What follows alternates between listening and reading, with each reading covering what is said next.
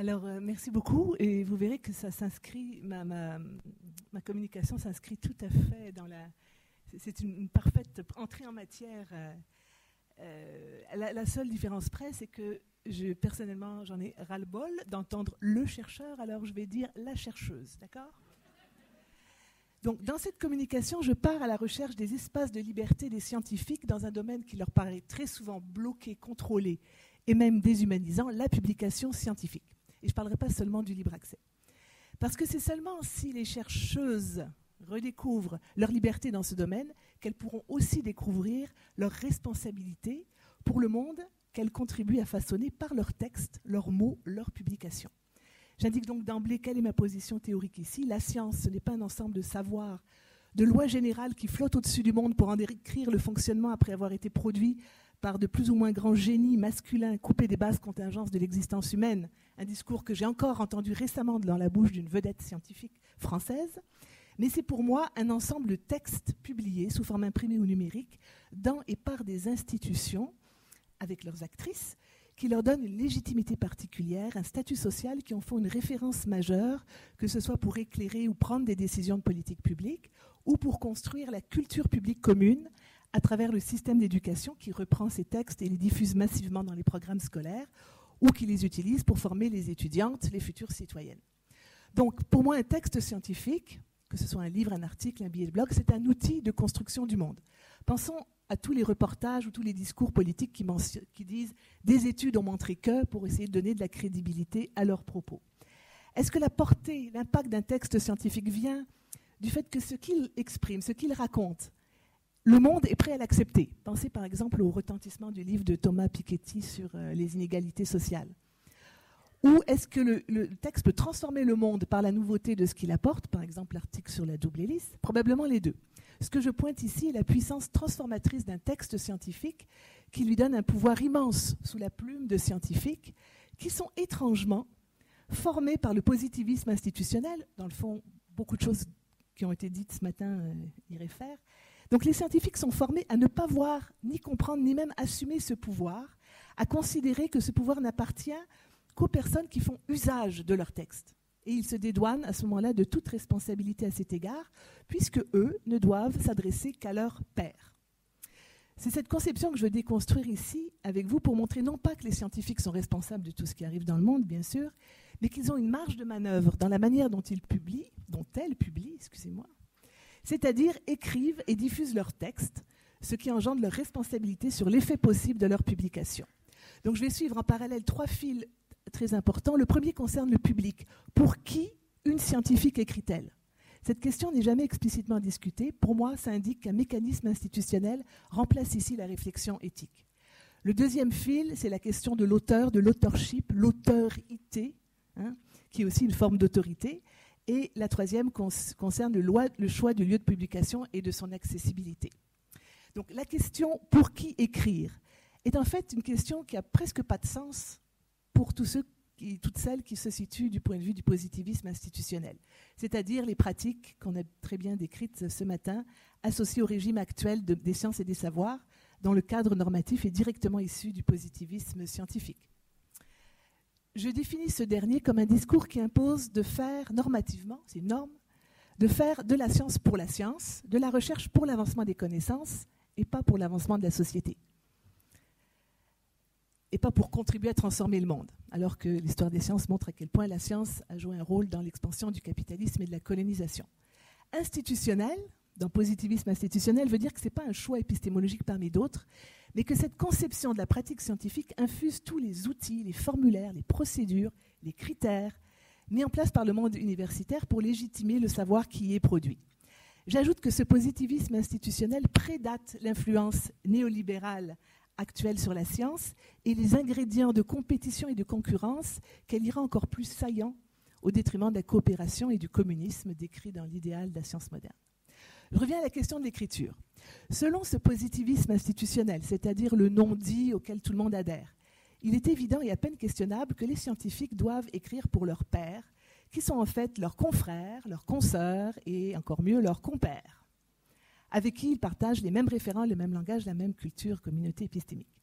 La marge de manœuvre des scientifiques semble plutôt résider seulement dans le nom de la revue à laquelle elles vont soumettre leur texte. Et encore, il y a dans certaines disciplines ou certaines pratiques d'évaluation des carrières des revues qui sont qualifiantes et d'autres qui ne le sont pas, dont on peut supposer qu'elles ne sont choisies par les auteurs qu'en dernier recours, euh, car selon la logique de concurrence propre à la science actuelle, il vaut toujours mieux publier quelque part que pas publier. Dans le système monde de la publication scientifique, comme l'a dit Rémi, dominé économiquement et en nombre par la science américaine et les cinq grands éditeurs commerciaux anglophones qui possèdent plus de 60% des revues scientifiques. Ce sont vraiment des monopoles. Ces revues qui sont indexées dans les bases de données Web of Science et Scopus qu'ils possèdent. Euh, un autre élément joue dans le choix de la revue, puis là je fais référence à une enquête que j'ai faite, le facteur d'impact. Le facteur d'impact, je vous donne la définition, c'est une mesure de l'impact d'une revue en fonction du nombre de citations annuelles à ses contenus. Plus précisément, c'est le rapport entre le nombre de citations à cette revue pour une année donnée et le nombre d'articles publiés par cette revue dans les deux années précédentes. Ça a été inventé par les bibliothécaires pour les guider dans le choix des achats de revues. Et maintenant, il est utilisé par les universités du monde entier, y compris les universités non anglophones, alors qu'il s'agit principalement de revues anglophones, pour analyser les dossiers des chercheuses, les promotions, la pensée managériale, exigeant des indices quantitatifs, même s'ils n'ont absolument pas été conçus comme indices de qualité. Je rappelle entre autres qu'un article cité souvent pour sa faible qualité pourrait faire monter le facteur d'impact de la revue qui le publie. C'est un calcul. Je ne m'étendrai pas plus longtemps sur ce système qui est complètement aberrant à mon point de vue et qui est simplement le signe de la soumission des universités et des centres de recherche à la fois à la pensée managériale et à l'hégémonie des États-Unis sur la science actuelle. D'où le nombre croissant de publications de chercheurs et de chercheuses français en anglais pour pouvoir être publiés dans ces fameuses revues du Web of Science et Scopus, alors que les savoirs qu'elles proposent intéressent très probablement en premier lieu des francophones. J'ai été lire, c'est très instructif, les critères de sélection des revues dans le Web of Science.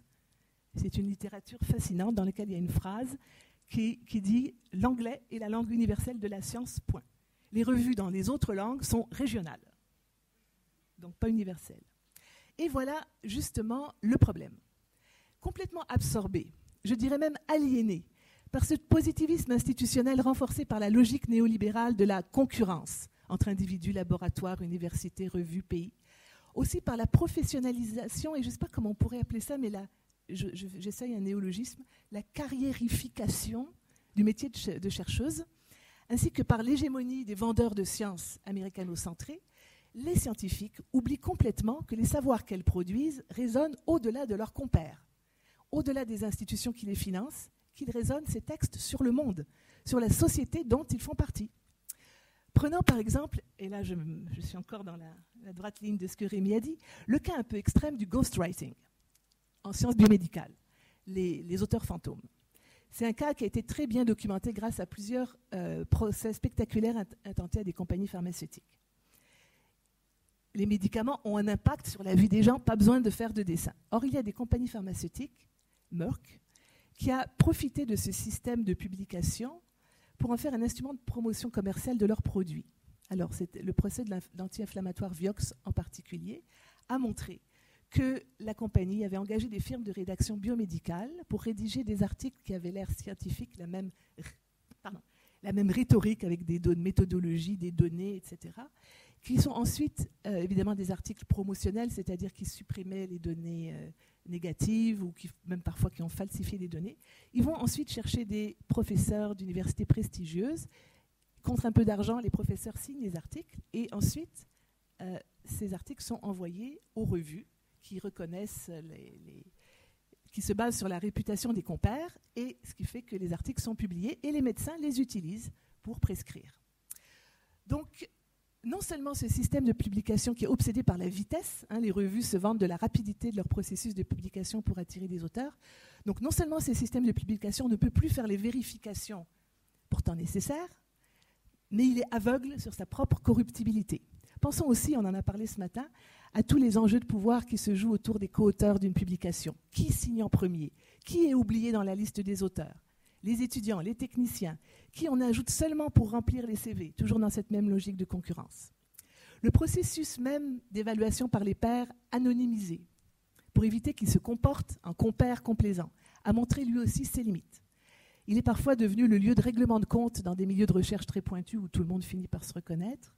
La sévérité normative de certains évaluateurs confine à la censure de nouveaux objets de recherche ou de nouvelles méthodes ou épistémologies, alors que le laxisme des autres laisse passer des textes frauduleux. La lecture du blog euh, Rédaction et recherche biomédicale ou Retraction Watch est édifiante de ce point de vue. Cette corruptibilité s'ajoute à la baisse de la qualité des recherches euh, notée par euh, à laquelle Rémi aussi a fait allusion, qui constate que la surproduction d'articles de faible qualité note ceux qui pourraient vraiment apporter quelque chose de nouveau. Bref, les scientifiques sont pris dans un système qui les fait souffrir, j'ai vu des collègues dont la, terreur de l'évaluation les dissuade à l'avance d'écrire tel ou tel texte et dont ils ne savent pas comment sortir. Comment ne pas penser au discours de la servitude volontaire?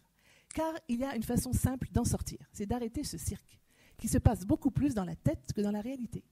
Les évaluateurs d'articles, les, directeurs de centres de recherche, les, directeurs, directrices de revues sont tous des scientifiques. Ce ne sont pas des monstres qui viennent terroriser les gens. On peut discuter, on peut changer les choses. Et je pense qu'il est important de revendiquer une liberté de publication axée sur le droit de choisir consciemment le public auquel notre texte s'adresse. Si une personne travaille sur la pauvreté en milieu rural français, choisit de publier en anglais dans une revue américaine payante, elle n'aura pas le même impact sur les décideurs publics, les autorités municipales, que si elle publie aussi, je ne dis pas qu'il ne faut pas le faire, ou à la place en français dans une revue en libre accès par exemple. Si elle ne fait que des références hermétiques à d'autres spécialistes anglophones de la question, elle ne contribuera pas à la diffusion des savoirs dans sa langue qui pourrait intéresser les lectrices et les lecteurs des villages dans lesquels elle travaille. Comme il existe de plus en plus de revues en libre accès, recensées par le DOAJ, Directory of Open Access Journals, qui a mis en place des critères très simples de qualité, non pas basés sur le facteur d'impact, euh, mais sur un autre système, comme la loi française impose maintenant le libre accès aux articles publiés par les, Français, les Françaises financés par des fonds publics, que ce soit dans des revues ou des sites d'archivage, que le web permet une diffusion instantanée de textes qui peuvent être lus et débattus partout pour éclairer le débat public, pourquoi ne pas prendre ce virage? Ce n'est pas comme s'il n'existait pas d'alternative. On arrive donc vraiment au constat, pour moi, qu'il s'agit d'un choix de valeur. Ou bien on se soumet à un système hégémonique et tyrannique, mais qui ne fonctionne que parce que tout le monde y croit, où on choisit de publier librement dans différents lieux selon le public auquel on veut s'adresser. Des revues qualifiantes en anglais s'il le faut vraiment, mais aussi des revues dans la langue du public que l'on souhaite avoir et qui leur est accessible. C'est bien sûr le beau thème de la restitution des savoirs en sciences sociales qui apparaît ici, particulièrement sensible quand le savoir qui a été publié utilise des informations issues de personnes volontaires et bénévoles, d'informateurs, ou qui portent sur ces personnes. Cette exigence de restitution des savoirs aux informateurs, à la société, fait partie de l'éthique de la responsabilité des scientifiques, euh, selon moi. Je reviens sur la question de la langue. Puis là, je vais vous dire quelque chose qui va vous choquer, mais c'est ce que je pense. Notamment en tant que militante pour une science africaine décolonisée, utilisant les langues africaines, et donc accessoirement pour une science francophone décolonisée, utilisant le français. Beaucoup me disent, mais si on n'écrit pas en anglais, on ne sera pas lu. Mais je réponds, pas lu par qui? Est-ce que tant d'anglophones que ça vont lire des textes portant sur la pauvreté en milieu rural français parce que le texte est en anglais? Ou une étude sur la participation des patients à la décision de leur traitement au Québec dans un centre de santé? On voit bien ici que ce qui est sous-entendu, c'est qu'ils ne seront pas lus par le système hégémonique, les évaluateurs, les patrons et les compères. Je rappelle qu'à notre ère numérique, il existe des tas d'instruments qui permettent la traduction instantanée, la mise en ligne d'une version traduite ou adaptée sur un blog ou dans une archive ouverte personnelle ou institutionnelle.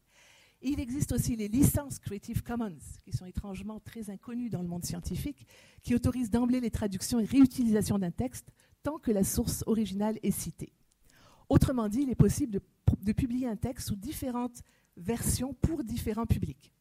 Il m'est arrivé quelque chose de très intéressant récemment un anglophone qui ne parlait pas du tout français voulait lire mes textes, qui sont en français, parce que moi, je m'adresse à l'Afrique francophone. Eh bien, il a pris Google Translate et il a mis mes textes dedans. Puis après, il a fait un billet de blog où il a collé mes, mes textes et résumé ce qu'il y avait entre les deux.